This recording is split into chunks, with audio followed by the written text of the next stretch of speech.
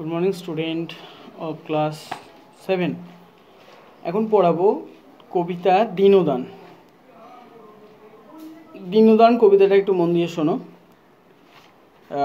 কবিতায় কি বলছেন? লিখেছেন রবীন্দ্রনাথ ঠাকুর, দিনদান মানে হচ্ছে দরিদ্রের দান।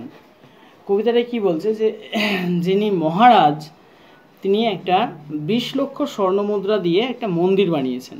গগনচুম্বী অর্থাৎ আকাশ ছোঁয়া মন্দির বানিয়েছেন। তো একজন সাধু, সাধুশ্রেষ্ঠ নরোত্তম।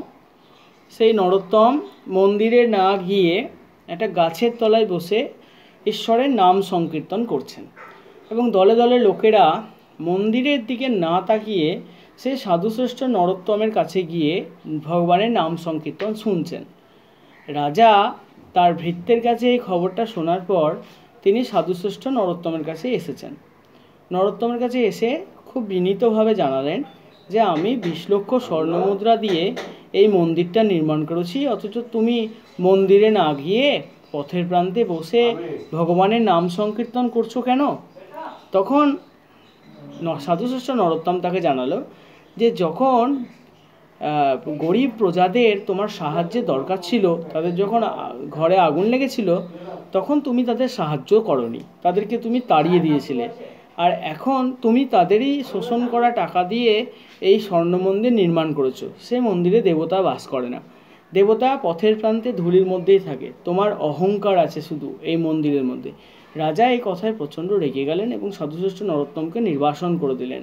সারস্বতী নরোত্তম তাকে জানালো যে, যেখানে তুমি গরিব প্রজাদেরকে নির্বাসন দিয়েছ, ঠিক সেই স্থানেই আমাকে নির্বাসন দাও। শোনো মন দিয়ে খুব ভালো লাগবে। নিবেদিল রাজভৃত্য। রাজভৃত্য মানে রাজার কর্মচারী বা দূত। সে এসে নিবেদিল মানে নিবেদন করল, জানালো, প্রার্থনা করল।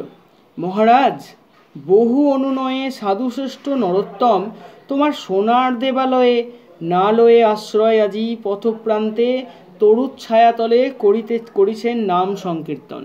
মহারাজ, সাধুশ্রেষ্ঠ নরোত্তমকে অনেক অনুনয় করলাম, কিন্তু সে তোমার সোনার দেবালয়ে না গিয়ে পথের ধারে গাছের তলায় বসে ভগবানের নাম সংকীর্তন করছেন।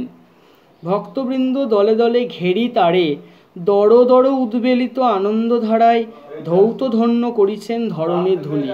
আর যারা ভক্তবৃন্দ, তারা তারা তাকে দলে দলে ঘিরে ধরেছে। চারিদিকে দলে দলে ঘিরে ধরেছে তাকে। দলে দলে ঘিরে ধরে দড় দড় উদ্বেলিত। অর্থাৎ তারা অত্যন্ত আনন্দের সঙ্গে আনন্দধারায় উদ্বেলিত হয়ে ধৌত ধন্য করছেন ধরনের ধুলি। ধরনীর অর্থাৎ পৃথিবীর ধূলিকণাকে যেন ধুয়ে দিয়ে ধন্য করছেন। অর্থাৎ তোমার মন্দিরের দিকে কেউ না গিয়ে সবাই সে ধুলোর মধ্যে সাধুশ্রেষ্ঠ নরোত্তমের কাছে যাচ্ছে। শূন্য প্রায় দেবাঙ্গন এবং দেবাঙ্গন অর্থাৎ মন্দির শূন্য, কেউ নেই সেখানে। ভৃঙ্গ যথা স্বর্ণময় মধুভাণ্ড ফেলি, সহসা কমল গন্ধে মত্ত হয়ে দ্রুত পক্ষ মেলি ছুটে যায় গুঞ্জরিয়া উন্মিলিত পদ্ম উপবনে, উন্মুখ পিপাসা ভরে। একটা মৌমাছিকে যদি এক বাটি মধু দেওয়া হয়, তাহলে সেই মৌমাছি যদি পদ্ম ফুল ফোটার গন্ধ পায়, তাহলে মৌমাছি তার মধু ভাণ্ডার ফেলে দিয়ে সে চলে যাবে সেই পদ্ম ফুলের উপবনে মধু সংগ্রহ করতে। তার কাছে তো অনেক মধু, ঠিক তেমনই তেমনই কি হয়েছে? আরেকবার শোনো এই লাইনটা। শূন্য প্রায় দেবাঙ্গন, ভৃঙ্গ যথা স্বর্ণময় মধুভাণ্ড ফেলি। ভৃঙ্গ মানে মৌমাছি, স্বর্ণময় মানে সোনার, মধুভাণ্ড মানে মধুর ভাঁড়। ফেলে দিয়ে সহসা কমল গন্ধে মত্ত হয়ে, হঠাৎ করে পদ্ম ফুলের গন্ধে উন্মত্ত হয়ে, পাগল হয়ে দ্রুত পক্ষ মেলি ছুটে যায়, দ্রুত পাখা মেলে যেমন ছুটে যায়, গুঞ্জরিয়া মানে গুনগুন করতে করতে উন্মিলিত পদ্ম উপবনে, উন্মিলিত মানে ফুটেছে এমন পদ্মের উপবনে, যেমন ছুটে যায় উন্মুখ পিপাসা ভরে, তার যেন খুব পিপাসা, সেটা পান করার জন্য যেমন ছুটে যায়, সেই মতো নরনারীগণে সোনার দেউল পানে না তাকায়ে চলিয়াছে ছুটি যেথায় পথের প্রান্তে, ভক্তের হৃদয় পদ্ম ফুটি বিতরিছে স্বর্গের সৌরভ। সেই রকমই সোনার দে, নরনারীগণ, অর্থাৎ প্রজারা তোমার দেউল পানে, সোনার দেউল দেউল মানে মন্দির, মন্দিরের দিকে না তাকিয়ে তারা ছুটে চলেছে পথের প্রান্তে মানে সে রাস্তার ধারে।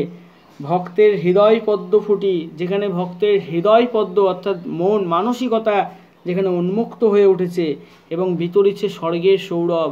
সৌরভ মানে সুগন্ধ, যেখানে স্বর্গের সুগন্ধ যেন বিতরণ করছে রত্ন বেদিকার পরে। একা দেব রিক্ত দেবালয়ে। রত্ন বেদির ওপরে অর্থাৎ বহুমূল্য রত্ন দিয়ে তৈরি করা বেদির ওপরে দেবতা একাই বসে আছে। রিক্ত দেবালয়ে, রিক্ত মানে শূন্য। শূন্য দেবালয়ে একাই বসে আছে। মানেটা বোঝা গেল? আমি এইটুকুর মানে আর একবার বোঝাচ্ছি। যে ভৃত্য এসে রাজাকে জানালো যে মহারাজ তোমার সোনার দেউল পানে কেউ না তাকিয়ে হ্যাঁ বহু অনুনয় করা সত্ত্বেও সাধুশ্রেষ্ঠ নরোত্তম তোমার সোনার দেউল পানে না আশ্রয় নিয়ে পথের প্রান্তে ধুলোর মধ্যে ভগবানের নাম সংকীর্তন করছেন এবং নরনারীগণ তোমার দেউল পানে না তাকিয়ে তারাও দলে দলে ছুটে চলেছে সেই সাধুশ্রেষ্ঠ নরোত্তমের কাছে। যেমনভাবে মৌমাছি মধুভাণ্ড ফেলে দিয়ে যেমন পদ্মের গন্ধ পেয়ে পদ্মের উপবনে প্রস্ফুটিত পদ্মে মধু সংগ্রহ করতে যায়, উন্মুক্ত পিপাসা ভরে।